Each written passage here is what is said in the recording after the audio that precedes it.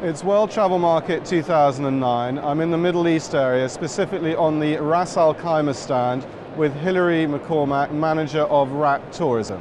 Hilary, it's very nice to see you here again today. First question I'd like to ask you is how has uh, RAK done this year in what has proven to be difficult economic circumstances for every tourism destination? Uh, as an emerging market within the UAE, uh, emerging destination, we've actually managed to do quite well our um, tourism numbers had an increase of 10% on the previous year.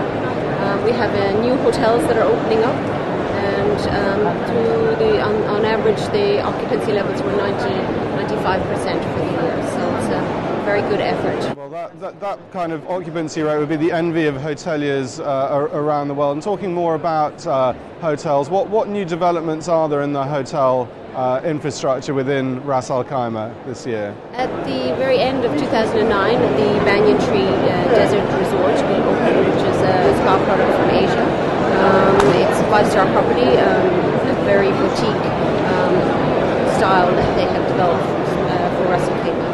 We um, recently opened the Cove Rotana, um, which was a really um, North African style property um, that's set into a very large dune area along the coast of Ras. It's extremely popular in the local market.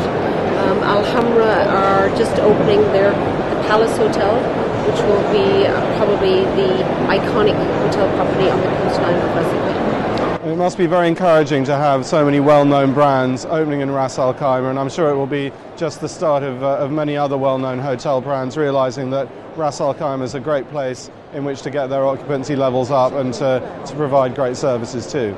Yes, I mean we have got some developments, uh, project, uh, real estate projects that will be developed uh, in the next five years that will have many more um, international brands that are coming. We've got Mina Al Arab, which is um, a coast um, beach um, project, um, which will have approximately nine hotels um, on that, and it's a mixed-use property, as many of the properties are in the UAE.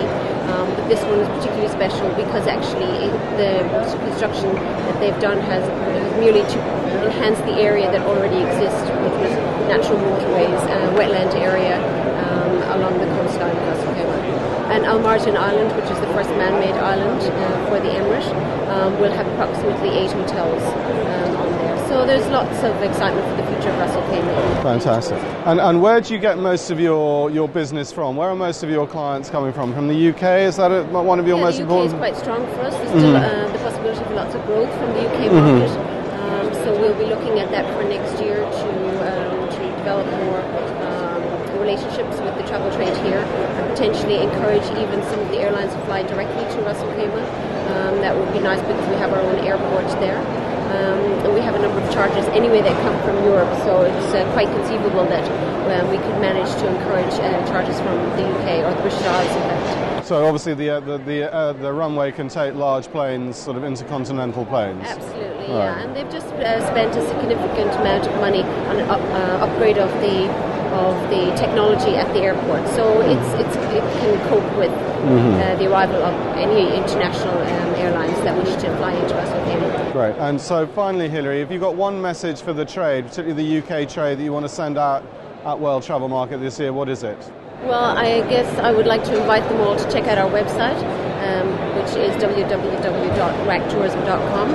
If they don't know about Ras Al Khaimah already, they should send me an email through that website and we'll provide them all the information that they need. Well, Hilary, it looks like a very busy stand you've got. I'm sure the show's going well for you. Thanks for taking time out of your busy schedule, and I hope the show goes well for you. I'm sure it will. Thank